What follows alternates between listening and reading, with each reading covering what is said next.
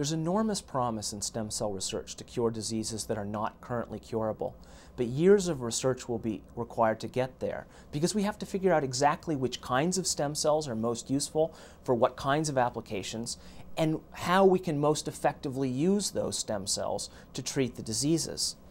Opponents of embryonic stem cell research have sometimes argued that we can already cure more than 70 diseases uh, with uh, umbilical cord blood cells or bone marrow cells, but those claims are really an exaggeration, and many of the diseases that are on those lists are not currently curable.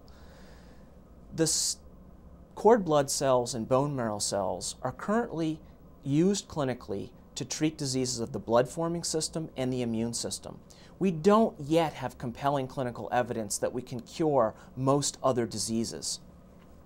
Nonetheless, there are clinics that have been set up in countries with unregulated medical systems that are making claims that are not based on sound scientific and medical evidence. Snake oil salesmen associated with some of those clinics are preying on the hopes of desperate patients, trying to make people believe that they can cure diseases uh, in the absence of strong scientific evidence. So if your doctor doesn't have compelling reason to believe that your disease can be treated effectively with a therapy that's being offered, if there's not compelling evidence in the scientific literature that something really is a cure, if it hasn't been the basis of sound clinical trials that are open to the light of day and replicated in independent clinics, then there is reason to be skeptical